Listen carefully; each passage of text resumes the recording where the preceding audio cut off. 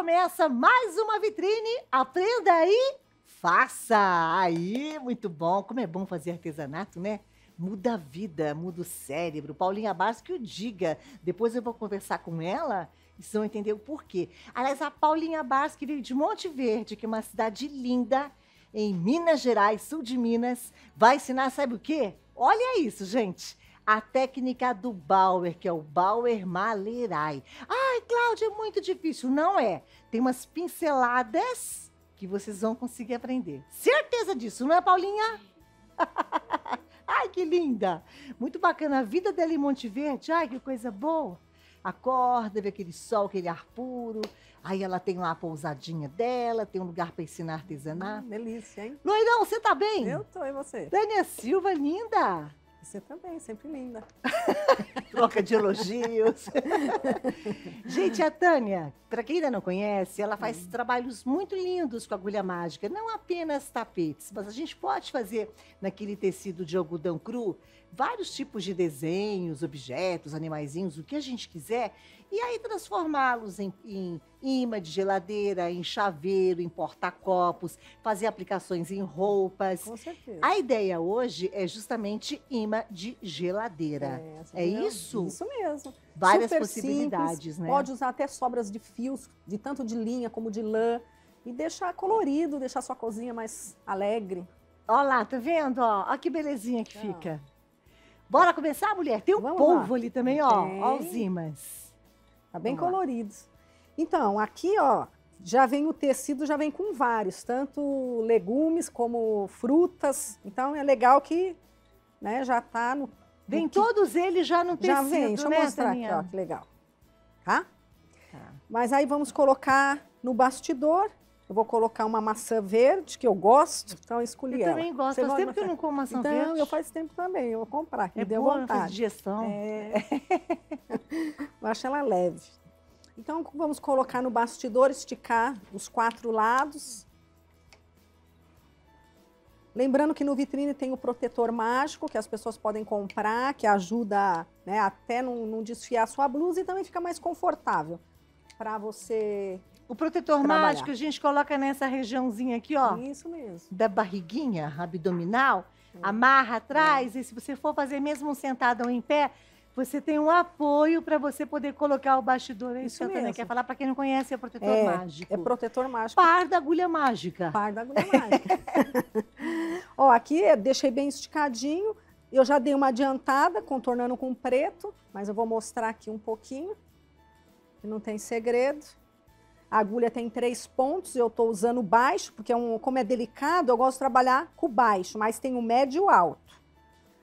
Então aqui, ó, nós vamos colocar, vou colocar de baixo para cima e de cima para baixo. Sempre esse movimento? Sempre. Ó, vou introduzir totalmente dentro, deixo uma pontinha e aqui nós vamos começar a trabalhar, lembrando que eu sempre coloco até o anel, vou terminar o contorno fazer aqui de uma forma que fique fácil para mostrar. Punho firme, agulha reta, aplico até o anel. E quanto menos eu levantar a ponta da agulha, ó, melhor vai ficar. Ela vai praticamente arrastando sobre o tecido, Isso né, mesmo. Tânia? Percebe que eu não levanto né, a minha mão, é só o, é, o meu punho tá firme, eu só levanto a mão. Eu não preciso levantar o braço, ah, como muitas pessoas fazem ah, assim, ó. Tá, Aí legal. fala, ah, então eu não consigo fazer porque levanta. Não, é o punho. É o punho, tá vendo ali, é, gente, ó. O é punho fica paradinho. Isso mesmo. Isso, isso já ajuda quem for fazer, já, né? É. Dica excelente, hein? Por tantos anos eu nunca tinha reparado nisso. Mas é, né? Muitas pessoas não conseguem pois fazer é. o levanto o ponto levanta a mão junto. levanta a mão junto. E ao mesmo tempo, junto. gente, o fio ele tá por cima da mãozinha da é, Tânia. Isso é ele. Não, não, fica preso. Tá vendo? Ali, ó, o fio por cima, ó. Não pode. Não agarrem com os dedinhos, que a gente pode fazer isso, né? E aí também não, não consegue fazer. É isso. Ó, e outra dica, você vê, essa agulha mesmo, ela é nova, ela tá pegando um pouquinho. Por quê? Porque ela fica embalada. O que, que eu gosto de fazer? Passar palha de aço na ponta dela. Por quê? Porque dá uma alisadinha e ela não fica pegando no tecido. É uma outra dica. Ótimo. Eu sempre uso, mesmo a minha mais velhinha eu uso. Eu passo uma palha de aço. Ó, cheguei aqui, fiz o contorno. Aqui já vou fazer o arremate. Ó, levantei, cortei. Sempre a gente faz é, o contorno primeiro, Sempre, Tânia? Sempre, Sempre, né? que é muito melhor, né? Dando contorno, aqui eu já coloquei as outras cores, tá vendo? Foi fácil, não tem um segredo, aqui foi o, o preto, o branco, o verdinho da folha e do galho e a, e a linguinha vermelha. Aqui, gente, eu já vou dar continuidade, já coloquei até a agulha para ficar mais fácil. E eu já vou fazer o preenchimento, simples também, Posso pegar uma partezinha aqui de baixo mesmo. Aqui eu, eu gosto do quê? De fazer aqueles quadradinhos, quando tem espaço. Eu posso tanto fazer o quadradinho, como eu posso seguir o desenho também, ó. Aí aqui, ó, tá vendo, gente, como tá pegando? É bom, porque eu não passei. E eu sempre passo antes de eu bordar, mas é bom que aconteça isso, que as pessoas Pra que estão... pessoa em É, casa ver.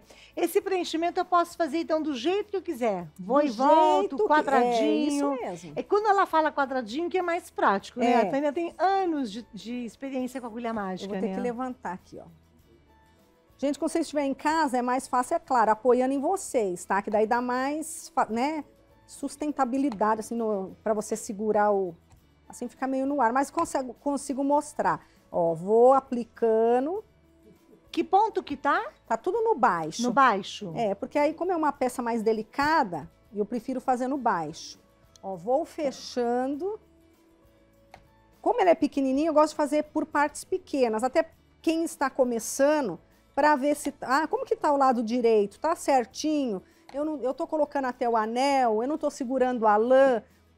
Então, esse parâmetro também é importante para você ver como que tá o resultado. Entendi. Às perfeito. vezes, o ponto do lado direito não fica em harmonia. O que pode acontecer é eu estar levantando muito a ponta da agulha, ou eu não estar colocando até o anel, ou eu estar segurando a lã. Então, a agulha mágica é muito simples de fazer, mas tem dicas, Tem né? E essas essas dicas são importantes. Quando eu perguntei para ela, para quem não conhece ponto baixo, médio, alto, porque de acordo. Depois ela vai mostrar aonde a gente faz a regulagem, que são três. É só é mudar o pininho, tá, gente? Mas é muito fácil. O ponto fica mais embaixo, o médio e o alto. O alto, o nome já fala, né? Ele é mais volumoso. Isso mesmo. Para que nem uma nuvem, quando eu faço algum, algum desenho que tem nuvem, eu gosto de jogar no alto. No alto. Que daí a, a nuvem fica Por exemplo, ali atrás, o polvo, enquanto ela está fazendo o preenchimento, reparem que o polvo está mais em relevo. Ali é o ponto alto? Ou é o O- médio é. escovado? É, o é, mas ele foi feito no médio e No escovado. médio, e aí ela escovou. É, aí Ó, deu esse bárbaro. efeito. Porque o verde tá no baixo. No baixo, entendeu, É. gente? Ó, então é esse contraste que eu acho bem interessante também. Agora, frutas e legumes, você Foram- fez tudo no baixo. Tudo no baixo. Vai ficar mais delicadinho no baixo, né? Eu Fica. acho mais delicadinho. Quando é peça de aplicações, até mesmo em camisetas, tudo eu gosto de fazer no baixo. No baixo. Olha, deixa eu mostrar uma coisa que eu não aguento, né? Tem uma bolsa ali, você fez um algodão cru, costurou, Isso. botou zíper e fez uma Coloquei um alça no botão. crochê, é, é isso? no crochê. E aí Ó. fiz o cinto combinando. Vocês estão vendo, gente, quantas possibilidades? É, tem muitas possibilidades. Deixa eu voltar aqui. Ó, chegou aqui, né? Eu vou pegar e vou cortar. Cortei a pontinha também. Aqui, ó, que legal. Já fechou. Um pedacinho, ó. Já tá formando a carinha da maçãzinha. Aqui só graça. preencher, não tem segredos. Você vai preencher uma de cada e vai usa também se tiver as suas sobras, aproveita e coloca. O que, que eu fiz aqui? Terminei todo o meu trabalho. O que, que eu vou pegar? Vou pegar a resina, vou passar toda nela, principalmente aqui, ó, fora, porque eu vou recortar. Vou deixar secar. Posso deixar secar 24 horas, mas no calor é até menos, viu, Claudinha? É até Uhum. menos tempo. Aí o que, que eu vou fazer? Eu trouxe até uma pronta aqui, ó. Ela, eu vou pegar, vou recortar o excesso. Vocês podem até ver que dá para ver que tá o pedacinho do tecido de algodão cru. Ó, aqui, ó. Cortei ela bonitinho. Lógico que espera a resina secar, tudo. Cortei, não passei, ó, pode ver que ela tá maleável. Passei pouca resina para economizar. Não precisa, que é só para dar uma seguradinha. Fiz isso, aí o que, que eu vou usar? É uma opção. Pode ser manta magnética ou também pode colocar o imã. Ó, tá vendo? Você O pode. imã. Como a, a agulha mágica é um trabalho pesadinho, não dá para colocar um só. Ó, e pode colocar com cola quente. Eu vou até mostrar aqui, ó. Mais uma criação com agulha mágica. Dá Ó. pra fazer o que eu quiser, né? E aqui eu eu vou. quiser. Deixa eu colocar aqui, Cláudia. Aqui, gente, ó, vocês podem colocar em vários, tá? Eu não vou colar aqui, é só para vocês verem, ó. Posso colocar em vários lugares, acho que dá para mostrar, colo e depois eu penduro na geladeira. E pronto. E pronto, e a peça tá pronta. Ó, Ai, mas eu não aguento vocês fazerem essas peças lindas. Olha aqui Esse foi também. feito com lã de bebê, Claudinha. Ah, esquecemos de falar. Dá pra fazer com lã, lã de, bebê. linha, e barbante de quatro ou seis fios. Esse foi feito com lã de bebê. Ai, que graça. Olha aqui também o coração, gente, Então, ó. Essa do coração eu comprei pronta, ela não tinha nada. Almo- Já comprou almofada assim? Já comprei ela pronta. É. Aí eu peguei e coloquei a carinha, o coraçãozinho dentro, dando risada. Mas o tecido dela era algodão cru? Não, não, aí eu fiz e apliquei na almofada. Ah, você eu aplicou. fiz só o coração, viu o coraçãozinho Aqui, feliz aí dando risada? entendi. Foi feito na agulha mágica, Quando você fala algodão aplicou, você cru. costurou? Apliquei com cola de tecido. Mas, eu, gente, eu vou andando e perguntando. Mas, ô, Tânia, além da, do tecido de algodão cru, que é esse aqui, 10 batidas, eu consigo fazer também na, ta, na na talagarça? talagarça. Né? Na E talagarça. no etamine também dá pra fazer. Tem que ver só a espessura. Gente, mais um kit lindo para vocês da nossa vitrine do artesanato. Imãs de geladeira agulha mágica. Olha o tecidão que vai de algodão cru, com várias frutinhas e também tem uns legumes, tem uma tal de berinjela. Quem tem criança em casa é bem interessante porque faz os imãs, vai brincando, vai ensinando. Para que serve o morango? Para os ossos e assim vai por diante. É bem interessante, tá? Além desse tecido de algodão cru já riscado, né, com frutas e legumes, vai o bastidor agulha mágica a legítima. Tem imitação, mas o resultado a gente não garante, tá bom? A legítima está aqui.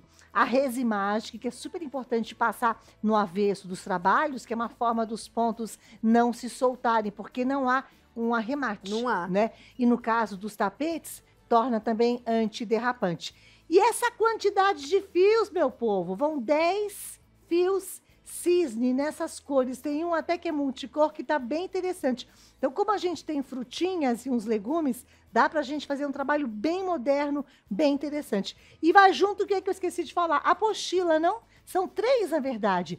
Três apostilas com várias dicas, sugestões para a gente trabalhar em casa com agulha mágica. Olha, eu conheço a Tânia há muitos anos. O que tem de famílias no Brasil inteiro que fazem trabalhos com agulha mágica, quando ela falou do barbante, você que mora em regiões mais quentes, faça, por exemplo, um capacho, um tapetinho de porta, de padaria, de Com comércio, certeza. com o nome do comércio, bem-vindo, trabalha com barbante. São inúmeras as possibilidades. A venda no 0800 380 2000. Também vocês podem comprar apontando o celular para o QR Code. O WhatsApp está aqui, 11 966335510. E a Tânia Silva tem 14 anos de vitrine, tem ou não tem? Tem. Esse mês, a nossa vitrine completa 14 anos. E sabe quem tem uma dica muito bacana pra gente? Eliane Tanelli. Olá, pessoal! Sou a Eliane Tanelli e tô aqui hoje para contar uma novidade para vocês. Olha só que legal! A vitrine do artesanato está fazendo aniversário. São 14 anos! E ela faz aniversário, mas quem ganha o presente é você. Sabe por quê? Porque a vitrine está disponibilizando, está dando de presente para você 14% em vários produtos. São vários. Eu nem sei quais, porque você vai ter que entrar lá no nosso site vitrinedoartesanato.com.br e verificar. Além dos 14% em vários produtos, você também vai ter frete grátis nas compras acima de R$ 249,90. Gostaram? Não é legal? É isso aí. A vitrine faz aniversário, mas é você quem ganha o presente. Um beijo! Grande Eliane Tanelli. É, Tânia Silva, para quem quer te procurar, fala o seu Instagram. O meu Instagram é arroba agulhamágica 2007. Mas quando a gente coloca naquela lupa Tânia Silva, já sai agulha Já mágica. sai agulha mágica. Já tá a patente ali. Já tá. Muito obrigada. Eu que Beijo agradeço. pra você. Obrigada. Gente, intervalo comercial. Na volta tem a técnica do Bauer com Paulinha Base. Todo mundo vai sair fazendo. Até já.